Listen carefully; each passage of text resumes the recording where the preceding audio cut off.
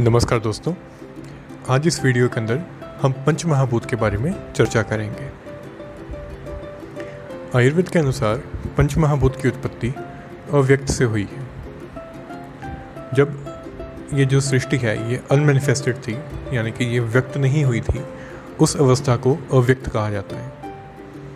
और जब उस अव्यक्त अवस्था में जब कॉस्मिक साउंडलेस साउंड ओम की उत्पत्ति हुई उस ओम की उत्पत्ति से वहाँ पर एक खाली स्पेस क्रिएट हुई।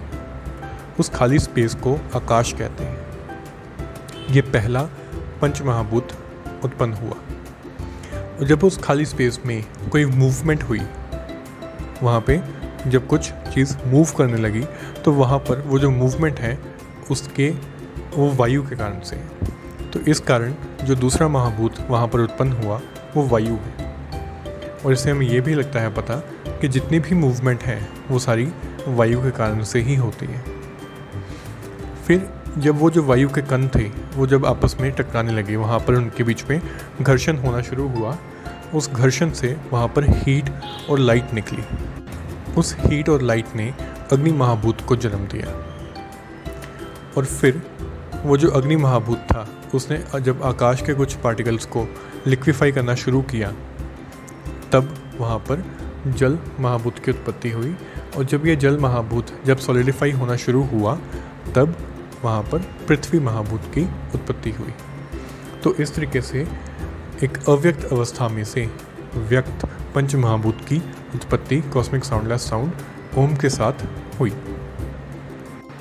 अब हम आगे देखते हैं कि पंच महाभूत का तन्मात्रा के साथ क्या संबंध है। तो आयुर्वेद में पाँच प्रकार की तन्मात्राओं का वर्णन किया गया है, जिसमें सबसे पहली शब्द है, फिर स्पर्श, फिर रूप, फिर रस और लास्ट में गंध तन्मात्रा का वर्णन किया गया है। जितने भी पंच महाभूत हैं, पृथ्वी, जल, तेज, वायु और आकाश, इन सभी के अंदर एक तन्मात्रा का जो है डोमिनेंस रहता है। जैसे कि आकाश में शब्द का, वायु में स्पर्श का, अग्नि में रूप का, जल में, रस का और पृथ्वी में गंध का। तो पर सिर्फ़ एक आकाश ही है, जिसमें सिर्फ़ और सिर्फ़ शब्द तन्मात्राएँ रहती हैं।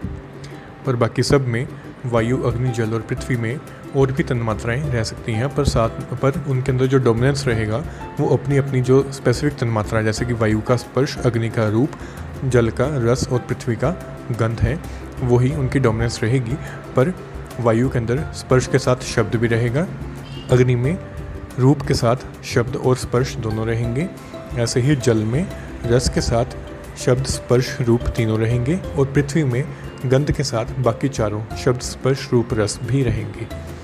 पर इनकी जो डोमिनेंस है, वो एक तन्मात्रा की डोमिनेंस रहेगी। इसी प्रकार जब आकाश की जो तन्मात्रा है, वो शब्द है तो उसका जो कार्यकारी क्षेत्र है वो ईयर है। इसी तरीके से वायु का क्योंकि स्पर्श है तो उसका जो ऑर्गन जो उसके साथ रिलेटेड है वो स्किन है। ऐसे ही अग्नि अग्नि का रूप है और रूप देखने के लिए आँखों का होना बहुत ज़रूरी है तो उसका जो है आँख यानी कि जो आई है वो सेंसरी ऑर्गन है। इसी तरीके से जो जल है जल में आ, रस रहता है और रस को टेस्ट करने के लिए जो जिहवा इंद्री है, जो टंग है, उसका होना बहुत ज़रूरी है। इस करके उसका जो सेंसरी ऑर्गन है, वो टंग है।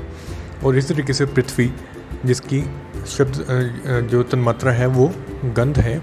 और गंध हमें नाक से पता चलती है। इस करके उसका जो सेंसरी ऑर्गन है, वो नोज़ है। तो इस तरीके से हमने अभी जाना कि पंचमहाभूत की तन्मात्राओं के साथ क्या संबंध है। अब हम आगे देखेंगे पंचमहाभूत का त्रिदोषों के साथ क्या संबंध है। आयुर्वेद में तीन प्रकार के दोषों का वर्णन किया गया है। हालाँकि इनको दोष कहना सही नहीं होता तब तक, जब तक ये साम्य अवस्था में रहते हैं। जब तक ये साम्य अवस्था में हैं, तब तक ये धातु का कार्य करते हैं, यानी कि शरीर को पोषण करने का कार्य करते हैं, उनको धारण करने का काम करते हैं।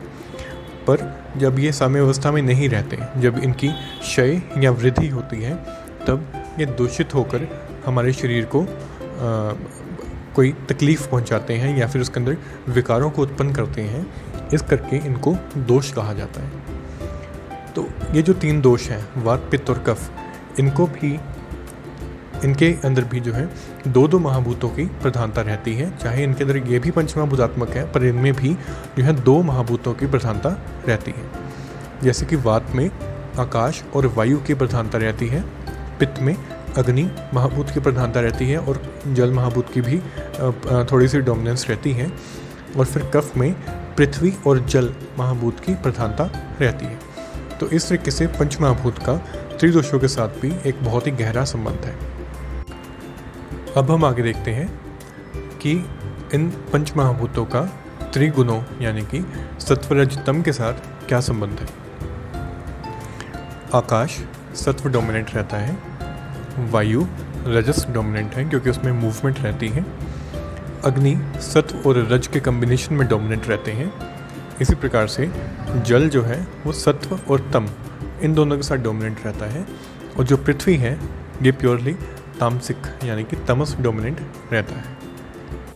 इसी प्रकार इसी प्रकार, अगर हम आयुर्वेद में वर्णित षड रसों की बात करें तो उसमें भी जो मधुर रस है, उसमें पृथ्वी और जल महाभूत की प्रधानता रहती है।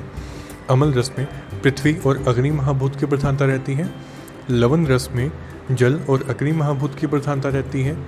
तिक्त रस में वायु और आकाश महाभूत की प्रधानता रहती है। कटु रस में वायु और अग्नि महाभूत की प्रधानता रहती है और क्षय रस में वायु और पृथ्वी महाभूत की प्रधानता रहती है। और आयुर्वेद में एक बहुत ही अच्छे तरीके से इन पंच महाभूतों के लक्षणों के बारे में बताया गया है। जैसे कि जो आकाश है, उसको आप टच नहीं कर सकते, उसको आप तोड़ नहीं सकते, जिसको उसने कहा है अप्रतिगत और अस्पर्शतम फिर वायु को कहा है, जिसमें जो वायु है चलत्वम यानी कि उसके अंदर मोबिलिटी है, वो चल सकता है। अग्नि उसमें उष्णतम यानी कि उसमें ऊष्मा है, उसमें हीट है।